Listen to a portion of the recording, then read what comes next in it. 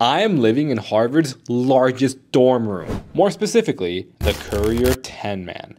We ride up to our room in our own personal elevator, which opens up to a gigantic common room that's over 600 square feet. The room comes with 10 single bedrooms, 3 bathrooms, a stove, and a full-size fridge. Fun fact, all of the decorations you see here were made by one of the 10 men, Bobby, and all of the artwork is customized for people living in the house. Now we come to my room, which is a bit over 180 square feet. It's very roomy, but as you can see, I have a lot of unused wall space. I'd appreciate any room decoration suggestions in the comments and follow for more.